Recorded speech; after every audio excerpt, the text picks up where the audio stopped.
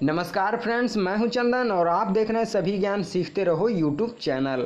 Friends, आज के इस वीडियो में हम आपको बताएँगे ओप्पो एफ़ वन एस की दो हिडन फीचर जिसे देख करके आप चौक जाएँगे।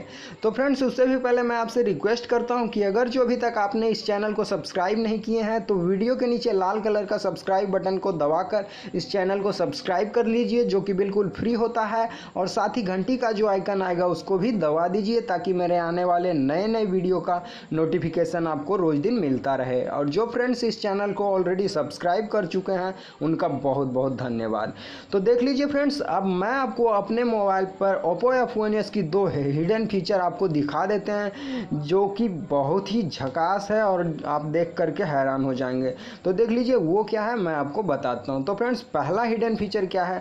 फ्रेंड्स आप लोग अपने मोबाइल में गूगल ऐप को ओपन करते होंगे तो पहले आपको गूगल ऐप को ढूंढना पड़ता होगा। आपके मोबाइल में ज़्यादा ऐप है तो फिर गूगल ऐप ढूँढने में आपको थोड़ा टाइम लगता होगा, तब आप गूगल ऐप को ओपन करते होंगे। लेकिन ओप्पो या फ़ोन एस में गूगल ऐप ओपन करने की एक ऐसी हिडन फीचर है, जिसकी मदद से आप बिना गूगल ऐप को ढूंढे, आप एक सेकेंड के अंदर ही आप गूगल ऐप को ओपन कर लेंगे। तो वो क्या है, मैं आपको बताता हूँ।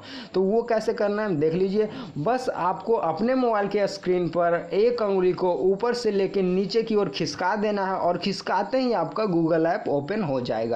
तो देख लीजिए, मैं अपने मोबाइल पर के स्क्रीन पर अपने उंगली को ऊपर से नीचे की ओर खिसका रहा हूँ और खिसकाते ही मेरा गूगल ऐप ओपन हो जाएगा। तो देख लीजिए, बस खिसका रहा हूँ और देख सकते हैं मैंने खिसका दिया हूँ और खिसकाते ही मेरा गूगल ऐप ओपन हो गया।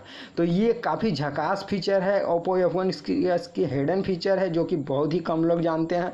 अब मैं आपको ओप्पो एफ़ वन की दूसरी हिडन फीचर आपको दिखा देते हैं। तो देख लीजिए फ्रेंड्स फ्रेंड्स, आप लोग अपने मोबाइल में स्क्रीनशॉट लेते होंगे तो आपको पहले पावर बटन दबाना पड़ता होगा और वॉल्यूम बटन दबाना होता होगा एक साथ, तब आप स्क्रीनशॉट लेते होंगे। कई लोग तो स्क्रीनशॉट ऐप की मदद से लेते हैं। लेकिन friends, Oppo F one S में एक ऐसी हिडन फीचर है स्क्रीनशॉट लेने का, जिसे देख करके आप चौंक जाएँगे। तो वो क्या है, देख लीजिए।